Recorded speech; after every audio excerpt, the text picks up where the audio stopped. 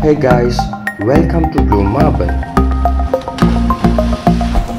Today we are roaming in the Phang Nga Bay in Thailand. It's an amazing tour around the bay by a cruise.